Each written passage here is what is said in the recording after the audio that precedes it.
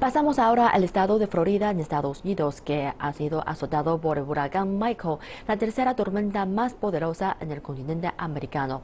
Al menos siete personas han muerto y más de 950 mil hogares y negocios quedaron sin electricidad en la mañana del jueves en Florida, Galvana y Georgia.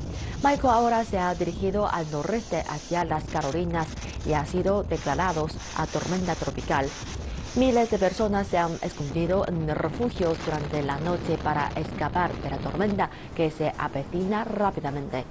El Centro Nacional de Huracanes de Estados Unidos afirmó que Michael dejaría poco más de 20 centímetros de lluvia a su paso.